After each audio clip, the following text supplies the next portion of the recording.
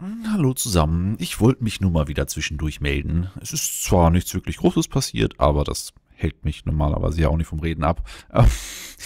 Die letzten Monate waren ein bisschen konfus, das habt ihr ja auch mitbekommen. Hatte ich auch schon im letzten News-Video erwähnt. Also einmal wegen dem äh, Brüderchen von meiner Tochter, der Probleme im Krankenhaus hatte, mehrmals hin musste. Dann war ich selber auch krank und deswegen sah der Uploadplan halt auch aus, wie er aussah. Ähm, aber es hat größtenteils dann auch hingehauen. Jetzt normalisierte sich das alles wieder ein bisschen. Also die letzten anderthalb Wochen, wenn ich es richtig sehe, gab es jeden Tag bei jedem Projekt eine Folge, wie sich das gehört. Und das hoffe ich auch weiter beizubehalten. Dann in Rimworld, Spoiler Alert, also morgen geht die Staffel zu Ende. Das heißt, ich werde ab Folge 115 müsste das sein. Dann mit der Alpha 16 anfangen. Ich nutze aber keine extra Playlist dafür weil ähm, allgemein bei RimWorld bisher zumindest äh, ist die Länge von so einer Festung ja doch recht abschätzbar. So 30 bis 50 Folgen. ähm, und da in der Alpha 16 recht viele neue Feature dazukommen, worauf ich schon recht gespannt bin, denke ich auch, dass es nicht so lange dauern wird, bis es wieder zu Ende ist. Also wenn ihr Interesse habt, in die Alpha 16 reinzugucken, einfach aktuelle Playlist von RimWorld. Da wird das hinten mit rangehängt. Dann Arx Fatalis hat mir noch so ein bisschen Bedenken bereitet. Da habe ich ja richtig äh, reingehauen am Anfang und war auch tierisch motiviert. Bin ich jetzt, es geht, muss ich ehrlich sagen, äh, da das Spiel doch recht viele Stellen hat, wo man denkt, okay, ich mache jetzt alles richtig und dann verbaut man sich irgendwas. Also sei es nun mit der Sache mit, der, mit der Shani, die ich nicht retten konnte, ähm, dann kommen jetzt auch noch die, die Schlangenfrauen, da kann man auch in eine Falle reintappen und sowas ist halt echt doof. Und ich habe auch das Gefühl, mehrere Sachen zu verpassen, weil man scheinbar random irgendwo hingehen muss, weil man keinerlei Hinweise hat, wo man hingehen muss.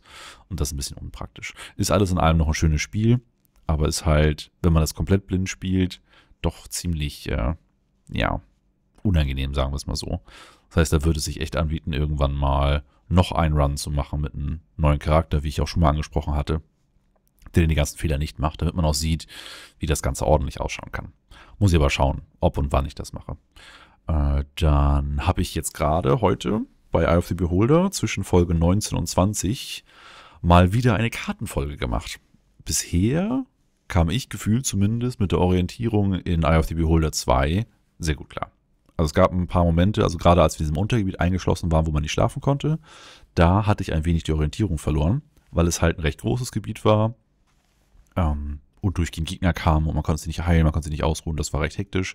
Aber sonst konnte ich mich eigentlich ganz gut orientieren. Ich weiß, dass Zuschauer damit ein bisschen mehr Probleme haben. Äh, selbst wenn ich das mit der Maus steuere und selbst wenn ich mich zwischen den bewegen, ähm, also ich, ich bewege ja mit der Maus, immer mit der Maus hin und her und dann ähm, Klick, einen Schritt vor, Mausticken bewegen, Klick, einen Schritt vor, ist eigentlich einigermaßen nachvollziehbar. Aber es ist trotzdem nicht das gleiche, als wenn man es selber spielen würde. Und jetzt zwischen Folge 19 und 20 war es halt notwendig, noch eine Karte zu zeichnen, ähm, weil ich sicherstehen wollte, dass ich nichts verpasst habe. Ich denke, das wird bei einigen Leuten gut ankommen und ich habe dann auch in Folge 20 die Karte wieder reingenommen und blende den sporadisch wieder ein, um zu zeigen, wo ich bin, um zu zeigen, wo ich hingehe, also ähnlich wie in Eye of the Beholder 1. Ich bin mir nicht sicher, ob ich das durchgehend beibehalten werde. Zum einen, weil es halt recht viel Aufwand ist. Normalerweise ähm, gucke ich die Folgen auch nicht nach, wenn ich sie schon aufgenommen habe. Also ich nehme auf, dann bearbeite ich das, dann kommt das Rauschen raus und so weiter. Ähm, und dann rendere ich das und lade es hoch. Aber wenn ich das mit der Karte mache, dann muss ich wirklich die gesamte Folge noch einmal gucken und dann zuhören, wann sagt er, und jetzt zeige ich euch da auf der Karte. Und dann muss ich halt im Renderprogramm gucken, wo ist das? Und dann muss ich das dann reinschneiden und darüber legen und dann an der richtigen Stelle rüberlegen und auch wieder ein- und ausblenden. Das ist halt nervig.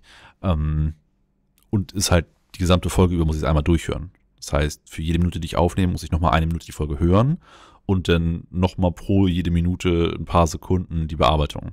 Also das ist schon wesentlich mehr Aufwand als sonst. Äh, das ist der eine Grund. Und ähm, weil ich eigentlich das auch recht gut nachvollziehbar finde. Also wenn wir jetzt wieder an einen Punkt kommen, wie dieser abgeschlossene Bereich oder jetzt zwischen Folge 19 und 20, dann schon. Aber ob ich das jede Folge mache, denke ich eher nicht. Müssen wir mal schauen. Ja, Icewind Day läuft super.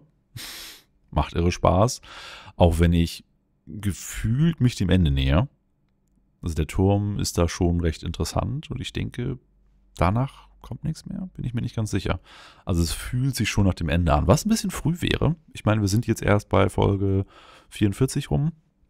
Da hätte ich mir eigentlich ein bisschen mehr erwartet. Also wenn man das vergleicht mit Baldur's Gate, hm, mal gucken. Aber vielleicht bin ich da auch nur auf dem falschen Weg und es kommen noch drei, vier Dungeons danach, was ganz schön wäre.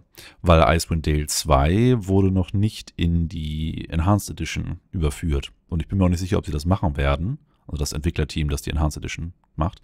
Denn Icewind Dale 2 nutzt, glaube ich, eine andere Engine. Oder zumindest ein anderes Regelwerk, weil es AD&D 2.5 oder 3 nutzt. Oder sogar 3.5. Irgend so ein Mittelding war das wo man dann bei jedem Level-Up auswählen konnte, was für eine Klasse man gerne hätte und noch ein paar Regeländerungen. Das heißt, die Jungs werden da Probleme haben, das alles zu vereinheitlichen mit den anderen Enhanced-Titeln. Weswegen sie das wahrscheinlich nicht machen werden, weil es zu viel Arbeit ist für zu wenig Geld. Ähm, aber mal gucken, müssen wir schauen. Also das wäre schön, wenn Icewind Dale 1 noch ein bisschen länger dauert und wenn Icewind Dale 2 irgendwann kommen würde. Und sonst XCOM. Oh ja, das ist schön. Das ähm, das XCOM nähert sich auf keinen Fall dem Ende. Wir hatten ja in der letzten Staffel schon bis Folge 260 oder so gemacht und wir sind jetzt erst bei Folge 120. Das heißt, da kommen noch mindestens 140 Folgen und wir waren auch nicht am Ende, ne? Nicht, nicht mal gefühlt am Ende bei der letzten Staffel. Also das dauert noch sehr lange. Aber für XCOM 2 ist jetzt der Long War Mod draußen. Allerdings, ähm, ja, tut mir leid, dass ich eure Hoffnung jetzt schon gleich so hochgeschürt habe und ihr gleich alle das runterladen wollt und spielen wollt.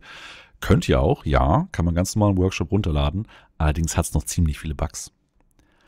Ah, also für ein Let's Play auf jeden Fall zu viele, meiner Meinung nach. Ich weiß nicht, ob irgendjemand anderes damit schon anfängt, aber ich werde das nicht tun. Nicht, wenn so viele Bugs noch drin sind. Und selbst für ein privates Spiel, wo man über manche Bugs mal hinwegsehen kann, äh, ist es mir auch zu viel. Also ich werde da noch eine Weile warten, bis da ein paar mehr stabile Patches draußen sind. Dann privat mal reingucken und erst dann später ein Let's Play dazu machen. Heißt jetzt aber nicht, dass ich warten werde, bis XCOM 1 durch ist. Ich denke, so geduldig bin ich dann doch nicht. Weil XCOM 1 Long War durchspielen wird bestimmt noch ein Jahr dauern. Ich weiß, das klingt komisch für Let's Plays, aber jeden Tag eine Folge. Ja, vielleicht ein halbes Jahr, dreiviertel Jahr. Das wird es noch dauern. Aber das Schöne ist, weil die Story von XCOM 1 kann man eigentlich ignorieren. Ähm, also man kann den zweiten Teil absolut spielen, ohne großartig im ersten was gemacht zu haben. Klar, sind Verbindungen da zwischen gewissen Charakteren, die werden aber auch erklärt. Ähm, und egal, was man im ersten Teil macht, der zweite Teil schließt da an. Das haben sie recht offen gelöst, alles. Das heißt, ich werde also den zweiten Teil vermutlich anfangen, bevor ich den ersten abgeschlossen habe. Heißt dann aber auch, dass ich zweimal XCOM auf dem Kanal habe. Muss ich dann schauen, wie ich das mit den anderen Projekten so mache oder, ne? Bin ich mir noch nicht ganz sicher. Aber ich bin auf jeden Fall schon sehr gehypt und froh, dass das Entwicklerteam sich entschlossen hat, da jetzt schon mal eine Release-Version von zu machen, auch wenn die noch ein bisschen buggy ist. Aber ich denke, dadurch setzen sie sich auch selber ein bisschen unter Druck, da mehr dran zu machen und kriegen dann auch Feedback von der Community, was buggy ist und was man besser machen könnte und und und. Und ich drücke denen echt die Daumen, dass sie das alles schnell hinbekommen. Auch aus sehr egoistischen Gründen, weil ich liebe die Long War Modifikation. Die hat das Spiel so viel interessanter gemacht und gerade bei XCOM 2 fehlte für mich in der Vanilla-Version alles. es war, ja, nee, XCOM 2 Vanilla. Ich habe es zwar durchgespielt, innerhalb von ein paar Stunden, ohne irgendwelche Probleme auf dem zweithöchsten Schwierigkeitsgrad. Es, war albern. Hm, hm. Hat mir echt nicht gefallen. Ähm, die Story war okay, die Grafik war super, die Ausrüstung war super, aber die taktischen Auswahlmöglichkeiten waren meh und man merkte, dass extra Platz gelassen wurde für Add-ons und für DLCs, die dann doch irgendwie nicht gekommen sind. Und ich hoffe mal, Long War wird das dann ähnlich rumwuppen wie im ersten Teil. Und ich hoffe mal, die Jungs, die an Long War arbeiten, werden auch ordentlich dafür bezahlt. Ich meine, die sind ja in Cahoots äh, mit den Entwicklern von XCOM. Ähm, aber ich bin mir nicht ganz sicher, inwiefern die da entschädigt werden oder einfach nur Rechte bekommen haben oder was auch immer. Aber die haben es auf jeden Fall verdient, von der Firma gut unterstützt zu werden, wenn nicht sogar in das Entwicklerteam für ein etwaiges XCOM 3 eingenommen zu werden. Weil die machen bessere Arbeit als die eigentlichen Entwickler. Wobei, nein, so kann man das nicht sagen. Die Entwickler machen das Grundgerüst für das Spiel und die Modder holen dann das raus, was die Community gerne sehen würde. Aber ohne die Modder wäre es halt sehr problematisch. Aber na gut. Ich denke, das soll auch erstmal reichen, so als kleine Übersicht, was die momentanen Projekte angeht, was da so in der Zukunft geplant ist. Und wir hören uns dann die Tage, ne? Bye, bye.